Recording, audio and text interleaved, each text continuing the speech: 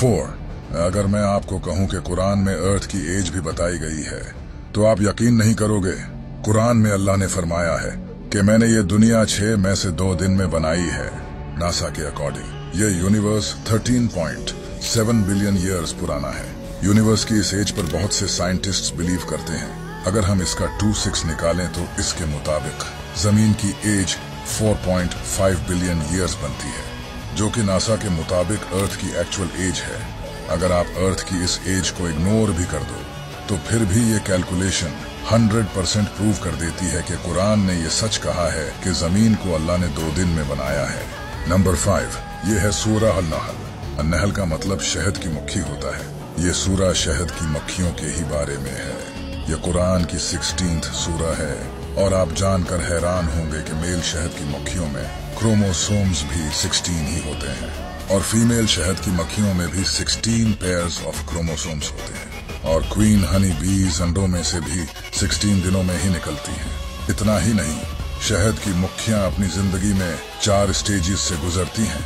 अगर आप चार को 16 से मल्टीप्लाई करोगे तो जवाब आता है 64 इस सूरा में टोटल 128 आयतें हैं और इन टोटल 128 आयतों में से 64 आयतों में अल्लाह का नाम आता है और 64 में नहीं आता।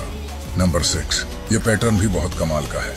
कुरान की इस सूरा में लफ्ज सुवर से आयत के आखिर तक 38 लेटर्स आते हैं। सुवर के जिस्म में क्रोमोसोम्स भी 38 होते हैं। कुरान की इस सूरा में लफ्ज गधे से आयत के आखिर तक 62 लेटर्स आते हैं। गधे के जिस्म में क्रोमोसोम्स भी 62 होते हैं। कुरान की इस सूरा में लफ्ज कुत्ते से आयत के आखिर तक 78 लेटर्स आते हैं। कुत्ते के जिस्म में क्रोमोसोम्स भी 78 होते हैं। नंबर सेवन कुरान की सूरा अल बकरा में अल्लाह का फरमान है कि हमने तुम्हें वसत उमत बनाया।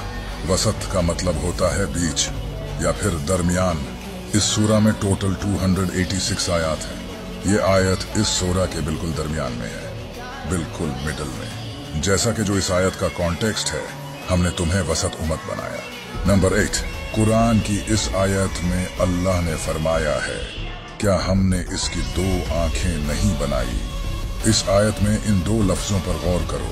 आयन का लफ्ज, इस एक आयत में दो बार आया है, और अरबी में आइस का लफ्ज एन से ही बनता है। यहाँ आयन का लफ्ज, दो बार आना, इंसान की दो आँखों को रिप्रेजेंट करता है, जो कि अल्लाह ने इस आयत में फरमाया है क्या हमने इसकी दो आँखें नहीं बनाई?